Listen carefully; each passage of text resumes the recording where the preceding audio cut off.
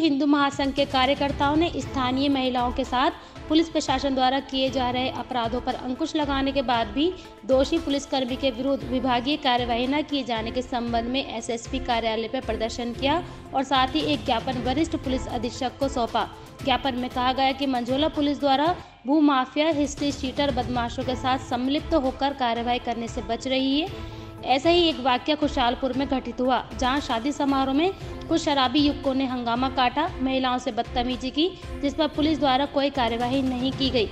इस बात के विरोध में महिलाएँ घटना का विरोध करते हुए विश्व हिंदू महासंघ के बैनर तले वरिष्ठ पुलिस अधीक्षक कार्यालय पहुँची और पुलिस के खिलाफ नारेबाजी करते हुए शिकायती पत्र वरिष्ठ पुलिस अधीक्षक को सौंपा। निशा जी क्यों आई है? क्या किस तरह का प्रदर्शन किया जा रहा है? क्या वहाँ पर हम जहाँ थे लगन टीका चल रहा था और वहाँ पर डांस कर रहे थे सब लोग सारी महिलाएँ। तो वहाँ पर ये बिक्की सोनी वगैरह सब लोग आते हैं और वहाँ पर छेड़खानी करने लग जाते हैं और मेरा हाथ पकड़ के लेके जा रहे थे। कौन है विक्की सोनी बिक्की सोनी मुझे नहीं पता ये लोग आए हुए थे शादी में। और नितिन सोनी बिक्की सोनी और सब इतनी दारू पिए हुए थे कि इतनी छेड़ाखानी कर रहे थे कि मेरा सूट तक फट गया था और ये देखो मेरे हाथ पे सब लगे हुए हैं ये भी। और इतनी गुंडागर्दी इतने सबको टोटली सभी को।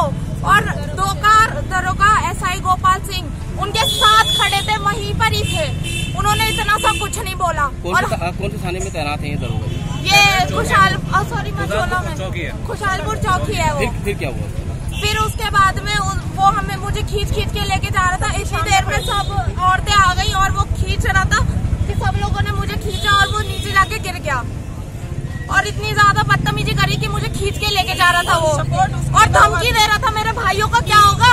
धमकी दे रहा था वो। कौन दे रहा था धमकी? वो विक्की सोनी नितिन नितिन सोनी और दरोगा कि तेरे भाई को नहीं छोड़ूँगा मैं दरोगा गोली जी मार दूँगा ये कौन सी बात होती है गोली मारेगा मेरे भाइयों को।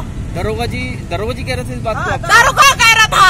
और वो बिक्की सोनी और नितिन सोनी कह रहा था तेरे भाइयों को मार डालूँगा। तू होती कौन है? मैं कौन हूँ? मैं कौन हूँ? जानेगा एक दिन मुझे भी जानेगा। कौन हूँ मैं?